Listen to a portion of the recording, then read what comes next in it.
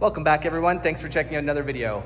I have this really nice 9th gen Civic Si in the shop for a tune today. It has some really cool parts on it. It has it put down some great numbers. Uh, it's also a super color. Apparently this is Dyno Blue Pearl, which is kind of fitting, but uh, super nice color. Really nice 9th gen Civic Si sedan. I really like these 9th gen Civic Si's, uh, especially in the sedan form. This engine has a set of the four piston drop-in cams, which everyone has been asking me about.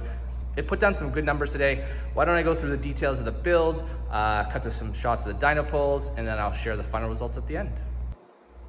All right, guys, so this Civic uh, actually competes in the uh, Ontario Time Attack Challenge. It actually does double duty. It is the owner's daily driver, but he also uses it to compete in the Ontario Time Attack Challenge. Last year, he actually won first place in the novice division. This year, he's going for more. Um, the car is actually sponsored by some local companies, Stage 4 Motorsports and Hard Race Canada.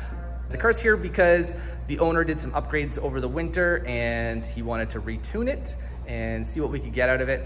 So like usual, I'm gonna start at the intake side of things and work my way through. It has a three and a half inch Acuity cold air intake, has a 70 millimeter OEM Honda throttle body. Apparently it's at the Ridgeline.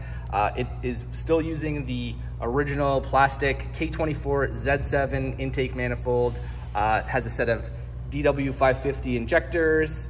On the exhaust side, it has a full race downpipe. He is running a cat, it's a GESI cat, and a full race three inch exhaust. Uh, the interesting part of this build is it has the new four piston drop-in cams. I've been getting a lot of questions about these cams and everyone wants to know how they're gonna perform and I have some really good dynographs and data to share with you guys. So why don't I cut to the shots of the dyno pulls and then we'll uh, share the final results and I'll, I'll share some comparison data.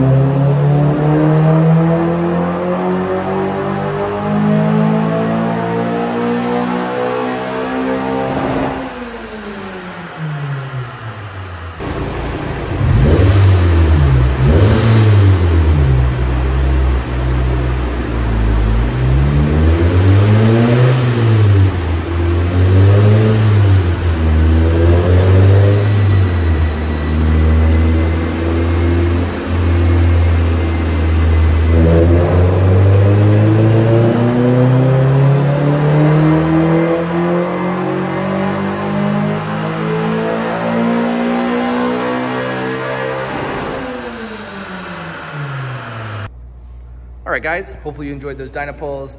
I'm sure you're eager to find out what the car put down today. So up on the screen, I have the final results from today. It put down 214 wheel horsepower and 189 foot-pounds torque.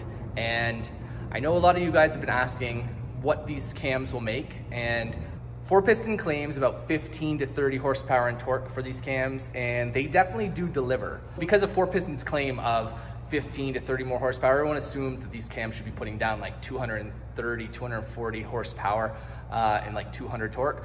But uh, it's not so much the case because they are a drop-in cam that doesn't re require any uh, valve train adjustments. And yes, they do help the engine to breathe better up top. They're not really geared for peak, peak power. So you're never gonna really see that peak horsepower number. You're still gonna see that same roughly 210 to 220 uh, peak horsepower, but what you do get in exchange is a whole bunch of mid-range power uh, by comparison to say going full bolt on on one of these ninth gen SIs because This, this engine is basically full bolt-on, except it doesn't have what most people put on it, which is the RBC intake manifold. And that RBC intake manifold usually is a, is a trade-off in power. You usually get a bunch more peak horsepower, but you lose a lot of mid-range. And uh, as you can see in this graph, there's a ton of mid-range. So why don't I bring up a dynograph of a full bolt-on car that I've done um, with stock cams, but with an RBC intake manifold. All right, so up on the screen in red is the results from today with the four piston drop-in cams. And in blue is a ninth gen Civic Si that I tuned that had full bolt on. It was cold air intake, bigger throttle body, RBC intake manifold, a set of injectors, full exhaust and everything. If you just go by the peak horsepower numbers, both of these setups put down 214 wheel horsepower. But if you look at the area under the curve, these four piston cams without the RBC intake manifold put down a, a significant amount of power from basically 3000 RPM up to 70, almost 7500 RPM. So more power everywhere under the curve in that range. Pretty good results in my opinion. The interesting thing is the owner does plan to swap in an RBC intake manifold at, at, some point on this setup. When he comes back to tune with the RBC intake manifold, we'll have some really good data of the performance difference between the stock intake manifold and an RBC intake manifold. So these graphs I think are a pretty good example of the difference between say the stock intake manifold and an RBC intake manifold when you're full bolt on and you have one car has the uh, four piston cams, but not really an apples to apples comparison. So why don't I bring up a dynograph of a ninth gen that was basically full bolt on but still had the stock intake manifold but no four piston cams. All right guys, so up on the screen in red is still the results from today. In blue is another ninth gen that I tuned.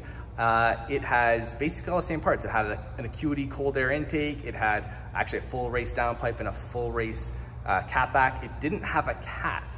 And this car does have a cat, so there's a slight difference. But realistically, probably the closest example I can find uh, of a very similar setup. So same intake, same exhaust system, uh, same intake manifold. This one had RDX injectors, I believe. This one has 550 injectors. Um, th there is a difference in the throttle body, but I don't think that's gonna make too much of a difference. But uh, you can see with the four piston cams, you're kind of making more power everywhere over the stock cams. So I definitely think it's worth doing the cams. You get, you get a significant amount of power everywhere basically.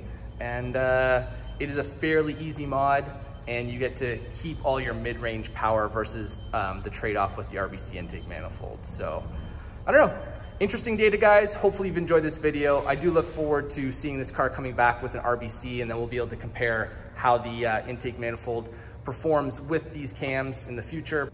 So yeah, I think that's about it for this video, guys. Hopefully you've enjoyed it. Like always, if you liked the video, do me a favor, hit that like button. If you haven't already, consider subscribing.